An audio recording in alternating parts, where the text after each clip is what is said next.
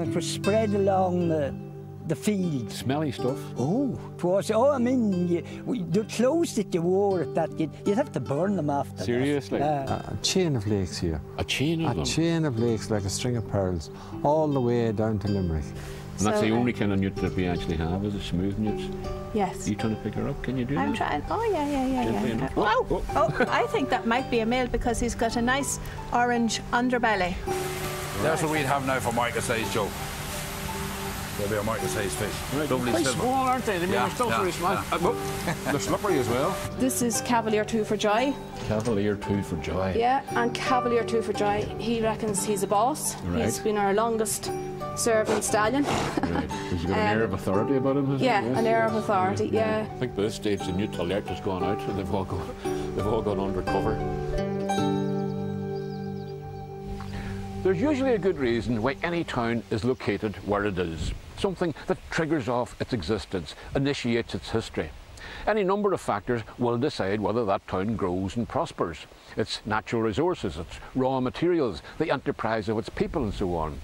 But very often there's just one thing that kicked off the story. An inciting incident, if you like, that made somebody someday in the distant past stop and say, this would be a good place in which to settle. Equally often, that reason is shrouded in the mists of time.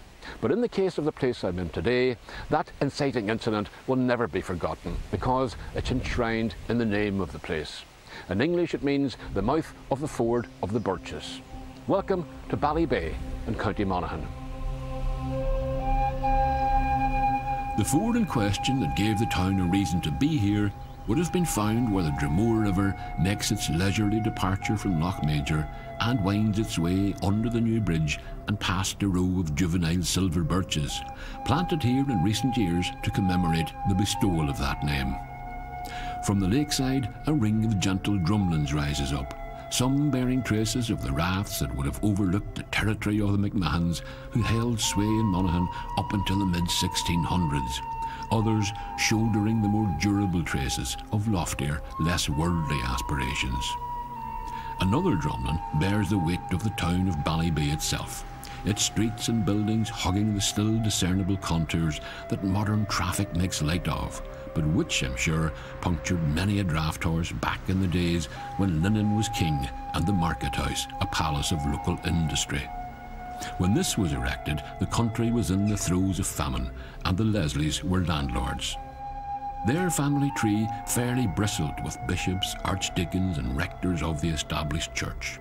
Yet the character of much of this area throughout the 18th and 19th centuries was decidedly Scots Presbyterian, with ministers of that faith playing leading roles in radical movements like the United Irishmen and the Tenant Right campaign.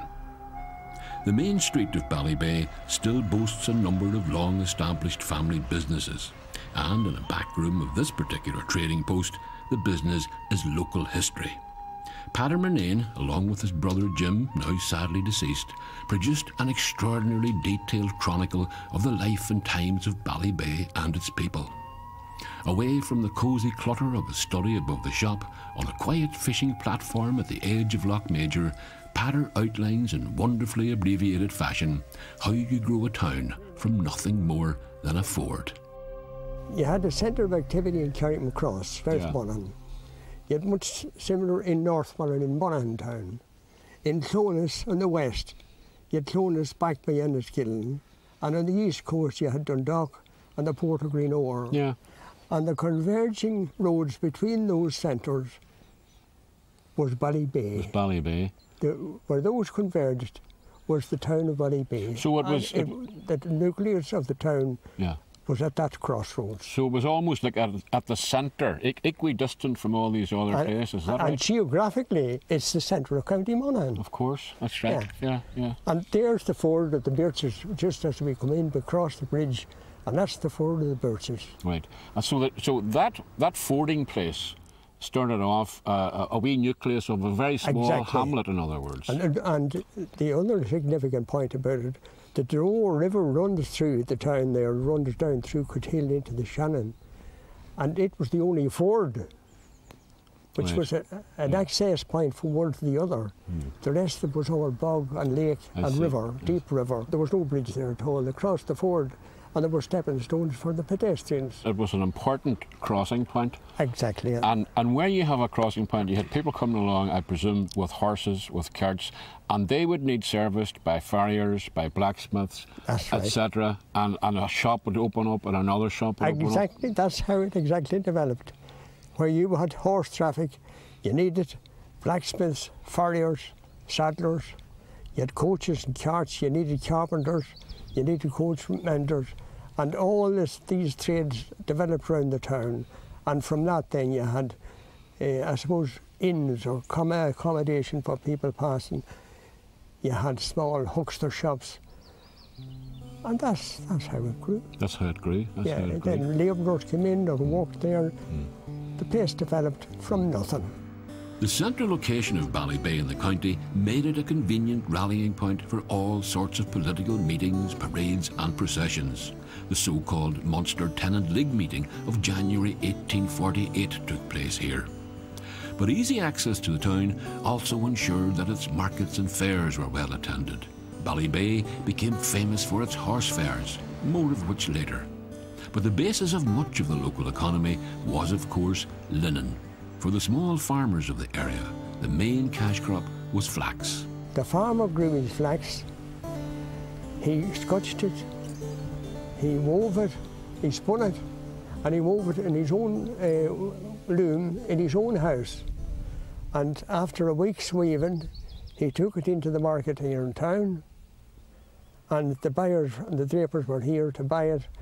And then it was taken to the mills and washed, bleached, beetled, lapped, and taken to the market, to the to the linen hall in Dublin for international sale. So it would be, be fair to say that practically every farmer in these parts was involved in that trade in, in some capacity. He well. gave it small, perhaps a quarter of an acre, or maybe a half an acre, Yeah. uh, to the growing of flax. Yes. It was his living.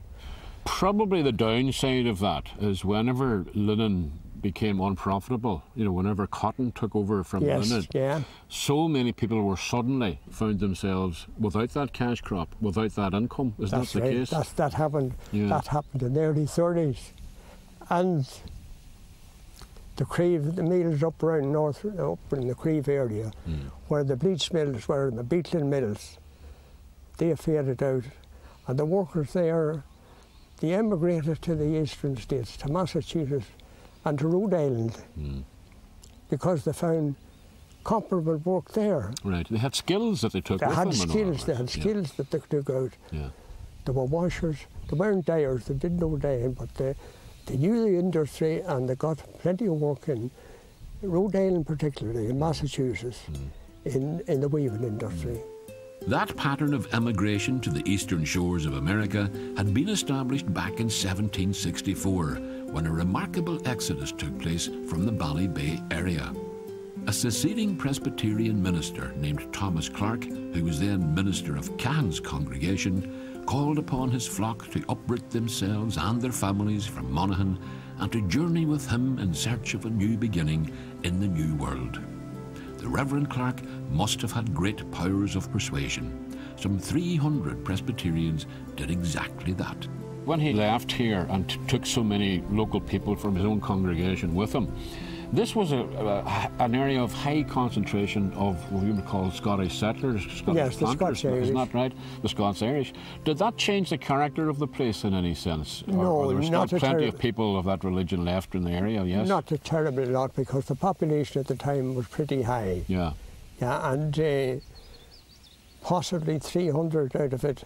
Well, for the first two or three years, yes. It would have made a it would have, difference. it would have made a difference. Yeah. It would have made a difference. But they walked from Cahan's. That's the amazing thing about these people. They congregated at the church and they left there with all their, their provisions for the way. They left with their farm tools, their looms, their spinning wheels, and they carried them from Ballybay to the Narrow Water. My goodness, right. And there's a place quite near Newry, it's Clark's Bridge, and it's believed that he stayed overnight there at that bridge on his way to Newry. And that's how it got its name, you well, I? I believe we believe that it was Yeah. because of his Clark's. That was his whole point.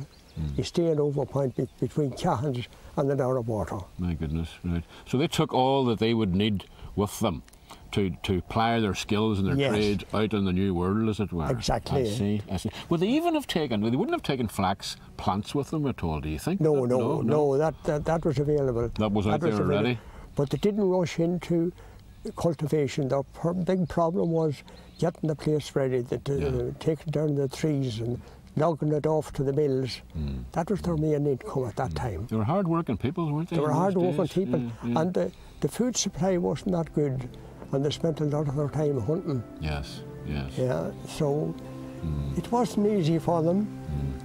If the milk and honey of the promised land did not flow quite so freely as had been expected, then the land they'd left behind had its own share of hardship yet to come. What those Cahans emigrants did miss out on was the heyday of the linen mills in the 1800s, when the topography of the Ballybay area proved to be its most valuable asset.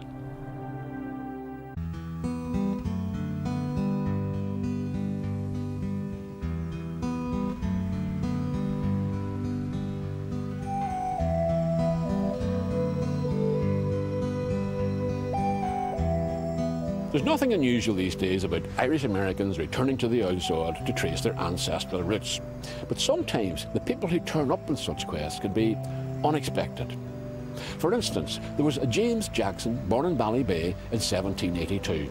And at the age of just 17, he emigrated to America, where, among a number of successful enterprises, he owned near Nashville, Tennessee, a cotton plantation worked by a large number of slaves. He had a large family, 10 children in all, and one of them was also called James. Now, he had a distinguished career fighting for the Confederates during the American Civil War, when he was wounded on 15 different occasions, having lost an arm in the process. Mind you, he might have thought that he had a lot to fight for, because he was also a slave owning plantation owner. He also had a large family, nine legitimate children, and at least one other child that we know of to a black slave worker who was a weaver on his father's plantation. And that child turned out to be the grandmother of the man who returned to Ballybay to trace his ancestral roots. By that stage, he was a world expert on roots. His name was Alex Haley. Yes, you might remember Alex Haley, not necessarily as the Irish American descendant of the Jacksons of Ballybay, but perhaps as the African American descendant of Kunta Kinte, the hero of his book and the subsequent hugely successful television series Roots. The Jacksons, who did not emigrate to America and did not own slaves, did pretty well for themselves in and around Ballybay. They were one of the main driving forces behind the linen industry, which flourished here between 1750 and 1830. During that time, the two adjoining lakes here at Creve provided a never-ending water supply to power a series of bleaching and beetling mills, which delivered high-quality finished linen cloth to the Dublin market. After 1830, the linen trade dried up, but farmers in this area continued to supply good quality flax right up into the 1960s.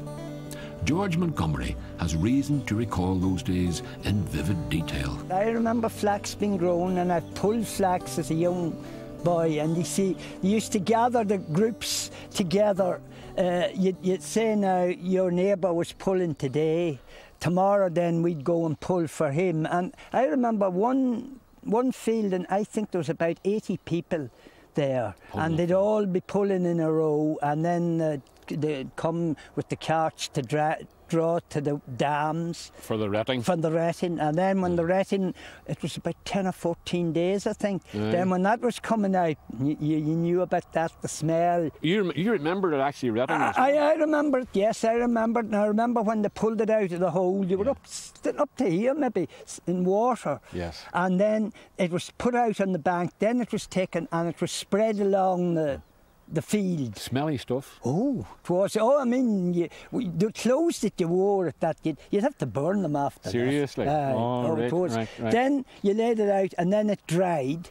And then when it was dried, you gathered it up and what the, I think it's called gated, put it into a sort of sheaths, like, Yes, and then eventually it was tied up and ricked put in a big rick and left there for, and I think it was covered with maybe rushes to prevent the rain getting in. And then it was taken from that to the Scotch mills Right. and then scotched. And then after, whenever you had that scotched, you brought that to the market then and it was sold and you got so much a stone according to the quality of it.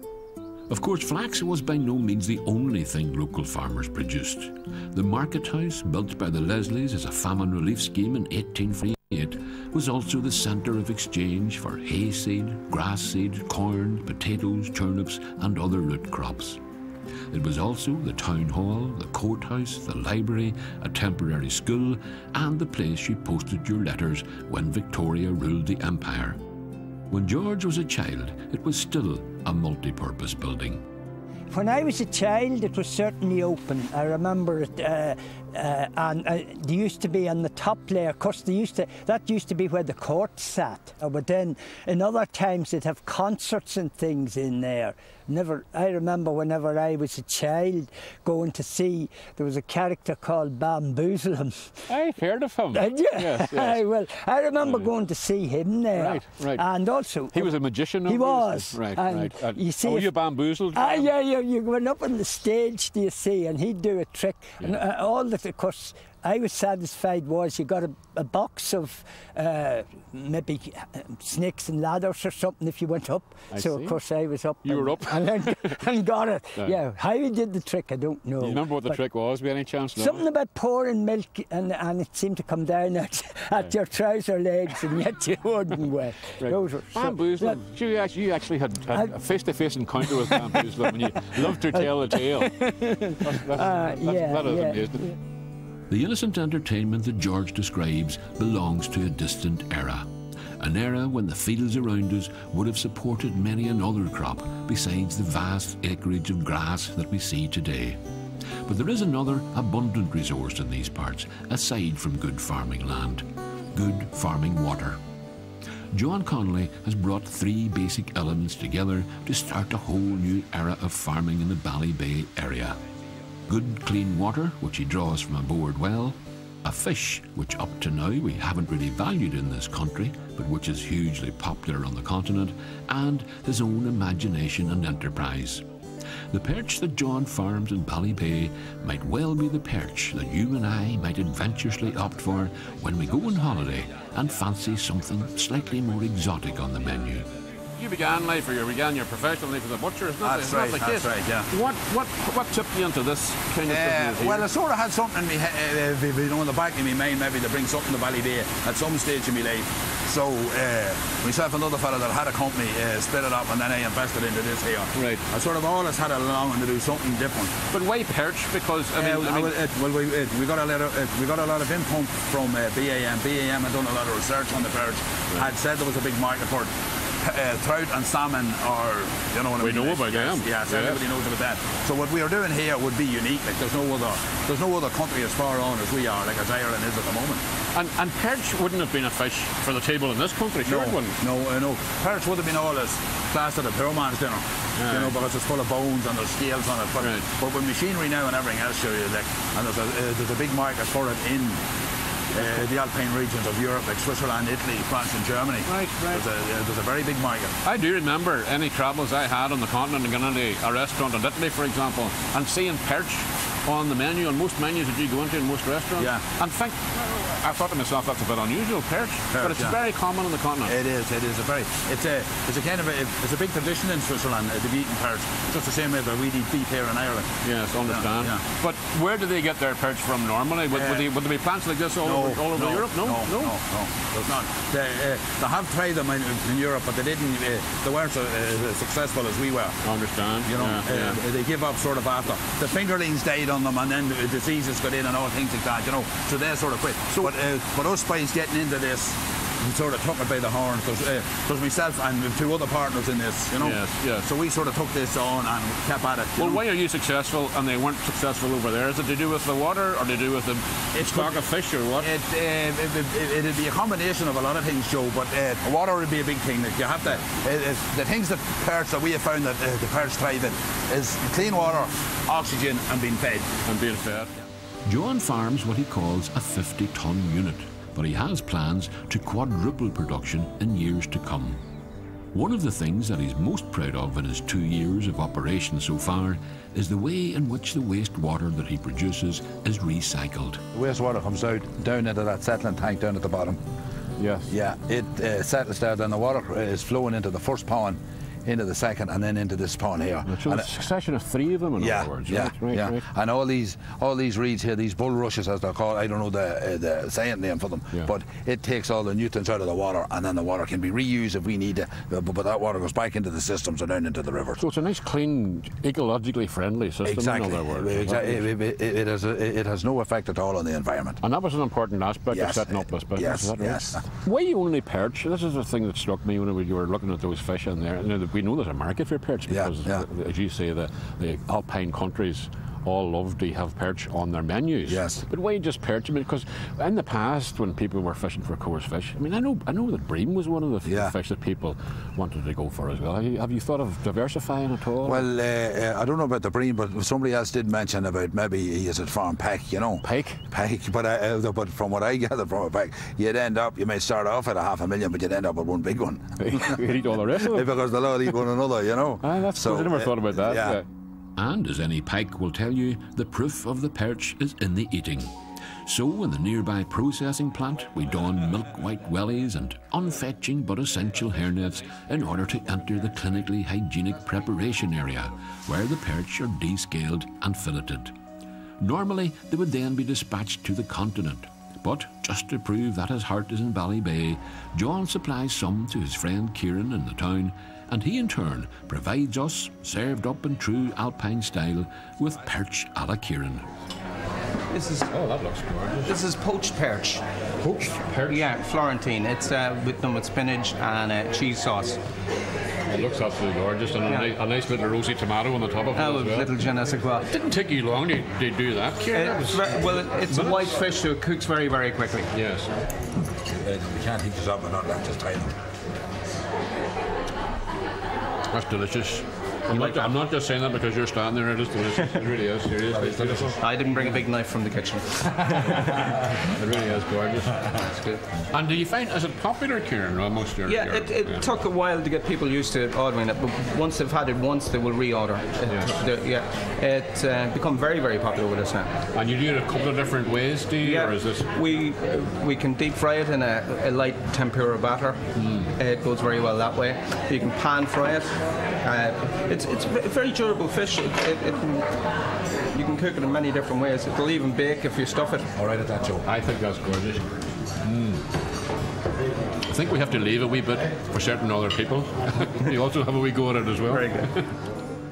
By the time we come back, this plate will have been picked clean, and I'll be telling the story of Crazy Jane.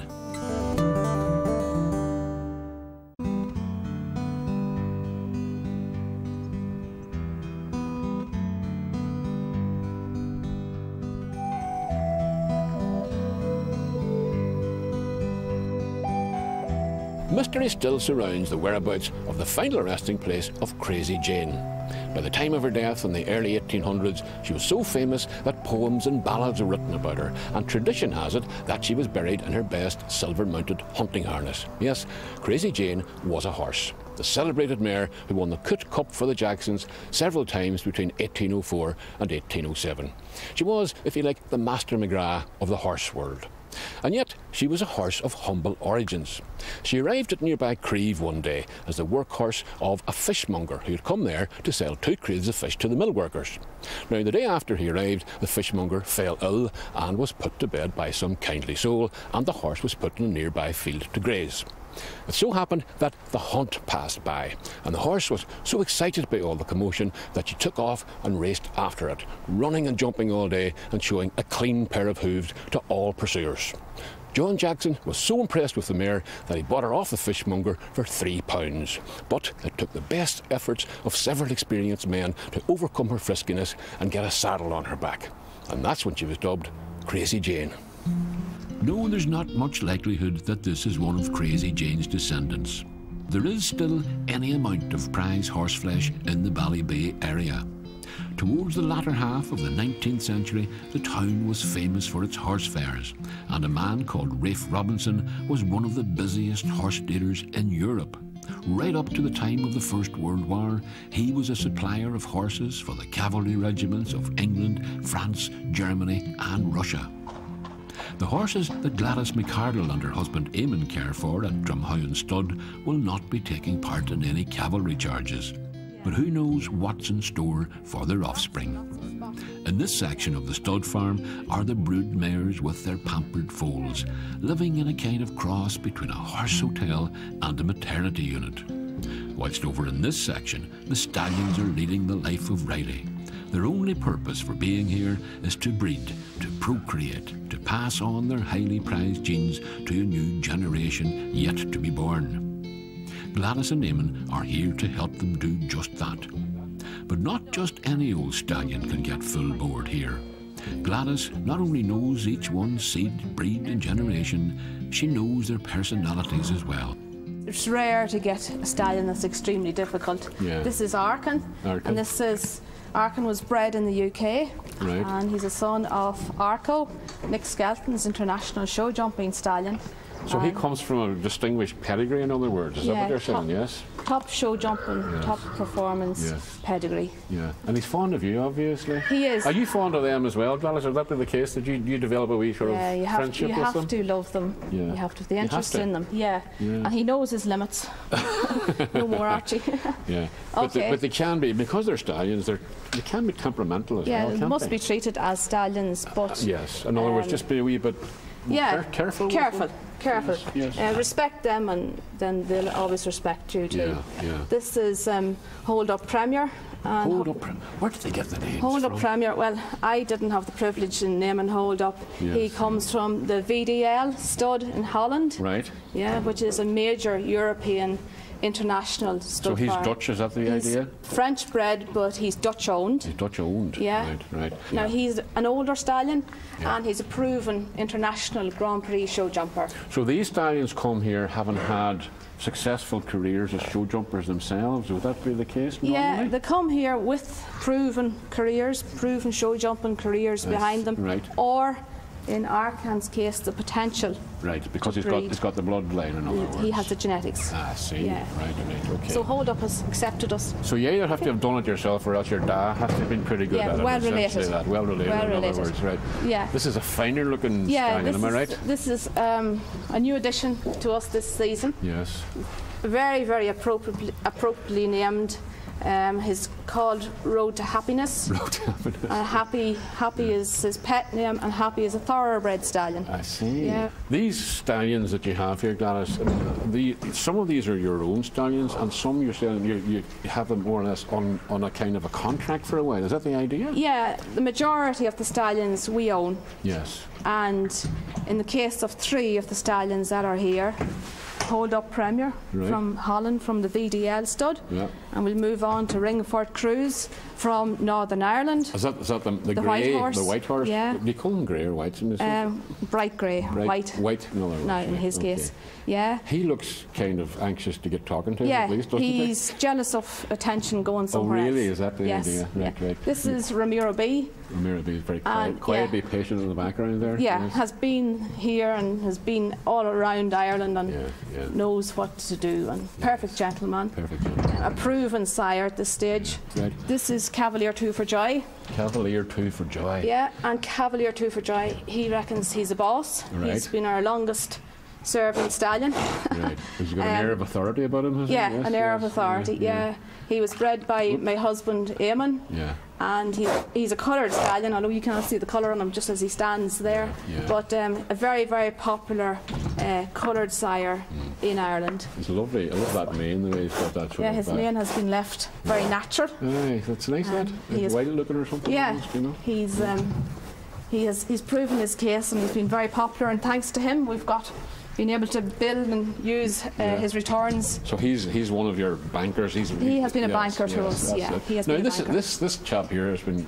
making a lot of noise and fuss since we came Yeah. into the yard. This- and it's because we weren't paying attention. Is that right? Yes, now he's happy. Right. right. Yeah, this is Ringford Cruise. Ringford Cruise. Yes, Right. owned by his breeder.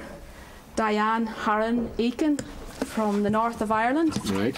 and Ringford Cruise, bred by Diane by the legendary Irish show jumping stallion Cruising. He's nodding his head as if he, if he agrees with everything you're Yes, saying there. he, he understands. I think so. So he was produced um, as a young horse by Paul Dillon in County Armagh, Yes. and then he went to the Irish Army, and he competed up to and at international level with the Irish Army.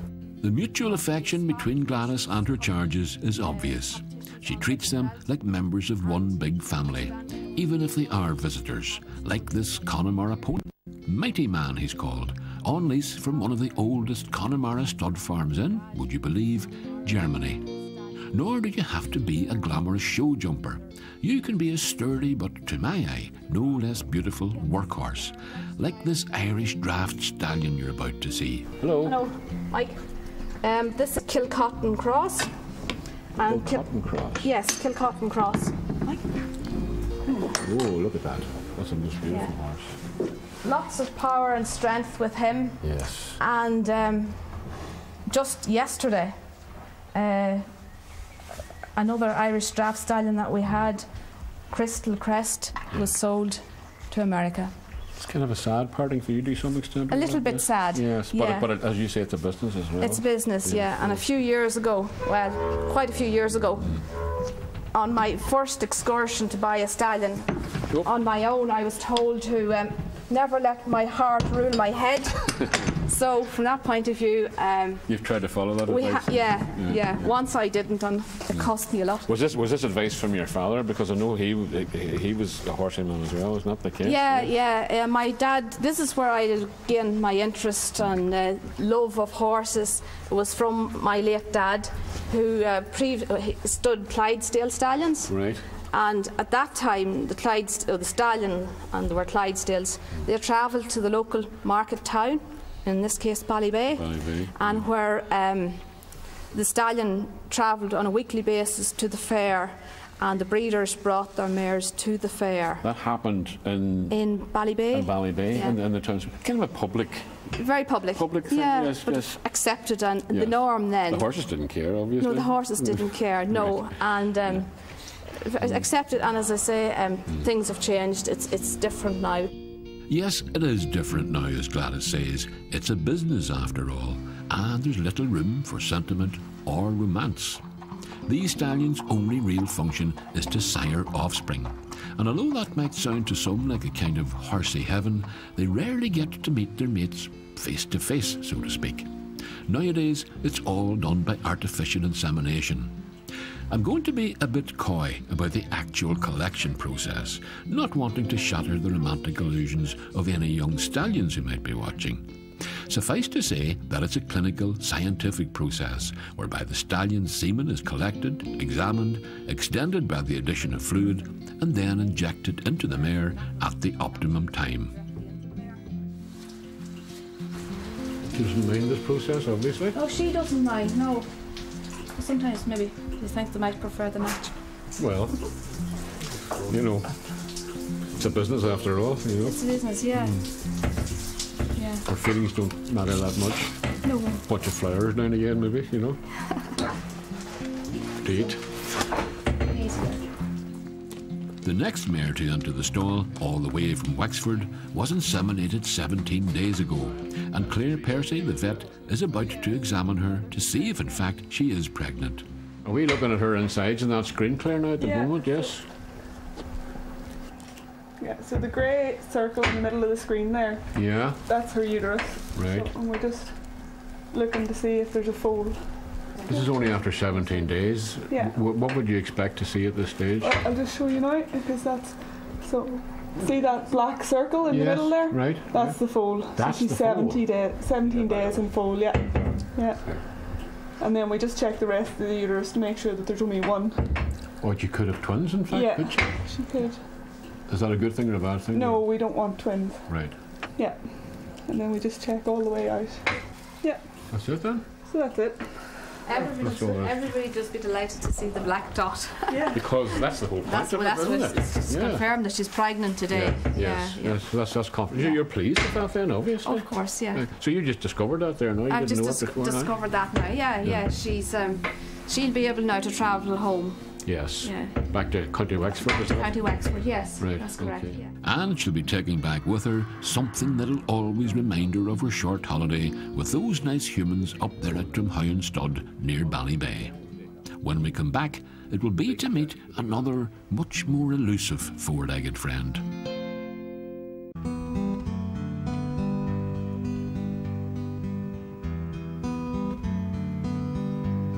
The Kildare Lake just outside Ballybay is just next door to paradise. If you happen to be a nesting great crested grebe, a mallard, a coarse fisherman, or a small child. That's because the thoughtful people who run the Wetland Centre have provided a wonderful floating causeway that takes you right into the centre of the lake and affords you all sorts of vantage points that even small children can safely get to without the use of a boat. But, as my guide Paul Flynn will tell you, the Kildare Lake is but the beginning if you do have a boat. We have a, a chain of lakes here. A chain of A them? chain of lakes like a string of pearls, all the way down to Limerick. Really? Yeah, you can get in your canoe there, set off, head for Cootehill, into the Annalee, on down into Lough Erne, Right.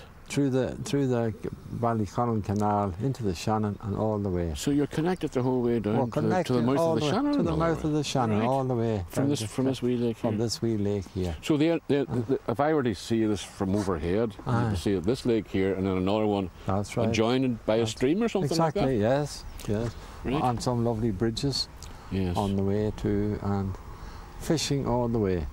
That would You'd be a nice. That would be a nice break. I would would nice think, it? Yeah. Get into a wee Would boat. recommend that. Yeah, yeah, with the time, the leisure, and Oh, the rest of it, and the weather. Well, so you've got to take time. Now, Yeah. this busy world of ours, we, that's part of the answer. We yes. got to relax more. Absolutely agree And with that. Yeah. A nice rustic setting we have here, yeah. and you can just relax. You're doing a very good job selling this now. I think Yeah, that's I think that's- so. Absolutely. It sounds so I think it sells itself. It That's sells it itself, does. really. When you look at it and see it, and Yeah. see the plants and see the vegetation and the animals, Yeah. and the wildlife we have here. That Yep, the only thing you've actually added to it is this brilliant pontoon kind of walk. We've just come along here. You've Yeah. got miles and miles of it. I mean, how, how, Oh, long, how well, long is it? Well, We've got half mile of it. A half mile of it? yeah. But it looks- it yeah. looks- it it looks looks like we're going longer forever. because we've put plenty of hmm. corners on it. Yeah, but it's it's kind of interesting to walk on because you do get slightly Yeah. seasick. Oh, you do, you do, you do. Lake sick. I know, I know. but you see in Monaghan here with the drumlins, Yeah. we, our roads are all corners on it. We, I noticed. So we felt uh, with the with the pontoon, we put plenty of corners on it as well to I make see. it more Yeah, interesting. a few roundabouts would be handy as well. There would yeah, be, but we're, we're but it's very durable stuff. This It isn't certainly is. It's manufactured in Cork actually, Yeah. and it's, it's it's used extensively now, and it's it's, it's very good and last, wears well and no maintenance on it. And is it so far uh, Mm. in terms of usage and people taking up the advantage of having a place like this? Are there plenty of groups? Oh, we're very doing that? encouraged. We're very encouraged with the number of groups, especially young people from the schools, the primary schools and post-primary schools, and Mm. some even from university come. Yeah. Yeah. but I think this is the this is the, the, the unique feature. This walkway that You you, think have so? created. Well, you see, Ah. you can bring children or groups of people to a wetland and they stand on the bank and look at it. Oh. But here they get a sense of being able to go right out into the middle of it. Of course they can. Of course Yeah, they and can. that's that's the whole Yeah. point of it. It is. Yeah. And then as well, our, our Ballybay in the past was a big fishing area, a big tourist area for continental fishing people. And uh, again, we wanted to encourage that, Mm. encourage them back to fish. So would you encourage fishing here as Oh, well? certainly and, do, and- yeah. and- and- so this is a, a good access for oh, fishing there, for certainly is. And, right? and we've lots of, of, of pike here, and roach and bream, and yeah, tons of freshwater fish. tons of freshwater Great. fish as well. So you've actually everything. Yeah. got- oh, of course we have. And everything, as Paul describes it, includes 65 acres bought by the Ballybay Development Association, now farmed organically by the Camphill community, who also planted five acres of oak woodland. The Wetland Centre is an initiative which blurs any distinction between recreation and education. And Greta McCarran is well used to entertaining groups of school children who, like me, would have spent many an hour engrossed by the pond life at the centre and by Greta's knowledge and enthusiasm. We have uh, uh, uh, newts and tadpoles in here. Yeah. Uh, newts actually look like tadpoles when they're young. Um, uh, they both live in the pond together quite happily. So would they look the same exactly as, as a, a, frog tadpole, in other words, would they? Yes. You uh, couldn't tell any difference between them, no? Well, at certain stages you can't really tell. Well, I can't tell the difference. yeah. Um, but a, newt, a newt could tell the difference, possibly. a newt, I hope I, I would hope a newt could tell the difference. But you see here, that's definitely a frog tadpole, Right. Because you can see its hind legs.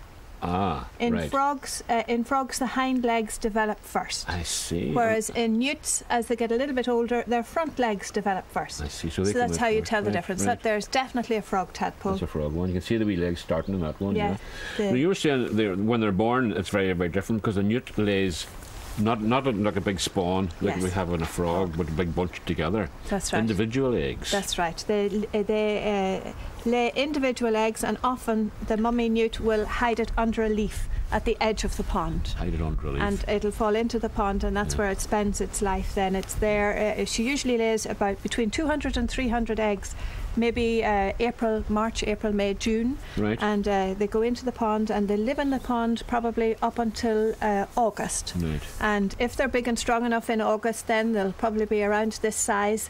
They leave the pond and they spend the winter then in the long, wet grass. Also, they don't stay in the water all year round at all. No, they don't. No, they right, don't. right.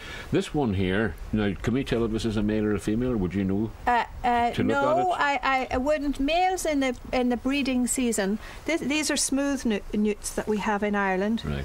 And that's So, the uh, only kind of newt that we actually have, is a smooth newts. Yes. Are you trying to pick her up? Can you do I'm that? trying. Oh yeah, yeah, yeah, Gently yeah. enough. Uh, Oh, oh, oh, I think that might be a male because he's got a nice orange underbelly. I was going to If say you saw possibly that. it's a female because, I mean, it looks pregnant, doesn't it? It's 'cause Well, that's right. That's right. It's quite fat. quite fat. Yes, but it's got a very nice orange underbelly, and it doesn't like me picking it up, so I'll not do that. All right. In fact, we lost any opportunity to pick up the newt because at this point in time it began to rain rather heavily and Greta and I had to shelter inside the centre. Had we been hardy enough and braved the weather, then this wouldn't have happened. Well, what happened was um, there was a shower of rain a wee bit earlier on. We had a run inside, Greta and myself, and we left the two trays sitting out here. You never believe what happened when we came out. The newt had escaped. You don't know whether she escaped back into the pond or in, into the long, wet grass. Either way, we are newtless. And uh, well, I hope you saw it earlier on because that might be the only chance you get to see it. In the meantime, Greta assures me there are more newts in here. This is why we're uh, we've got the nets. It's a bit um, hit and miss, I think, whether we get a, a lot of newt or not. You know. Our search was in vain, but undeterred, Greta and I resumed our conversation in the absence of said newt, entirely newtless. Well, if we wait long enough here Yeah. for one of these to develop into a newt, it'll be what several weeks anyway, wouldn't it? It- Oh, it it is. Yes, yes, absolutely. It'll be Mm. August time before they'd be ready to come out of the water. Right. And often they're not even big enough then, so they'll wait until next year. And they'd come out next How year. long would they actually live? I mean, would they would they live for a few seasons? Well, they're they? sexually mature after three or four years. Really? Yeah, it takes two to three years for them to become sexually mature, and then however long they survive after that, I guess. So they're quite long lived, really, aren't they? Yeah, yeah. I suppose they would be prey um, for the likes of I don't know herons and things like that. That Herons the and case? things like that. Uh, yeah, absolutely. That's And what pike, you'd of course. expect. Uh, anything, anything in the water, bigger fish. Yeah, Yeah, uh, they don't like fish, so any fish will have them. I see. know. Yes. So in this pond we have no fish, so that's Right. why we have uh, such an abundance of newts and tadpoles. we have an abundance of newts. We have your word for that, Greta. Okay, at this Oh, stage. yeah, yeah. We have, certainly have an abundance of tadpoles. And Yeah, newts we certainly well, we, we, just, we just haven't got the wellies to go out into the depths to go look That's looking right. for them properly. That's right. You had another name for newts. You said you were around here. They were called man eaters. Man as- eaters, as well. known as man eaters around here. But there was another story you told me, which I don't know. I've never heard that before. That newts, there was a cure. And, That's and- and- right, and that's tell me right. about that again. What was, what was Well, that? locally they believe that if you uh, lick or kiss the underbelly of a newt, it will give you the cure of the burn. A burn. A burn. So if, if somebody has a burn, they'll come to you, and I, I guess you touch the burn or whatever, and it relieves the pain of oh, the, the, per- the person who licks the underbelly of the newt Will have is, the is the per- has the cure. yes. You need, you need to be pretty desperate, wouldn't you? I think, or, or, or, in, or in great pain yourself Uh, before you or do a great something. or a great believer in, in, in these cures. How could you get a newt to stay still long enough so you like its underbelly. I don't know. So our could either be back in the pond or could have gone away in the long Oh, I, grass. I would say it's way in the long grass. we forgot, of course, that these are land animals as well as as well as swimmers. So it just easily got over the top. Oh well, that's how they get out. They get out every August, uh, and they leave the pond and they're out for the winter. I'm so just going to look underneath this. Just you never know. No, nope, just okay. some leaves. Just when you said he's very secretive, I thought, you know, he could be having a laugh at us underneath one of those things, you know. I'll just try this one as well. That's two. That's one's two. There's flat. nothing there. No, Nope. he's gone. We're still newtless. Now you might be wondering how we're able still to see the newt, if indeed it has escaped. Well, I am cheating a little, but only a little. This is not the same newt that you saw earlier. Greta is nothing if not persistent, and after our talk, in spite of my gloomy expectations, she actually managed to net newt number two. Persistence pays off. Greta actually, just I had given up altogether, but she carried on with the net and found another newt. Of course, having said nearly everything we wanted to say about newts, we almost immediately had to let it go again. You're not going to kiss it now, are you? I am not. Whoopsie! Oh, Oh, a nice orange underbelly. Yes, So they're very much land animals anyway, aren't they? You were saying yes, yes. They come to the pond to breed. they're not home in the land as much as in the water. absolutely, So They're genuine amphibians, is that what you would call them? absolutely. They like the wet grass, tall wet grass. I think we're going for a high it, it doesn't here. look. Whoopsie! There he goes. Happy, I'm sure, to return to the murky depths whence it came.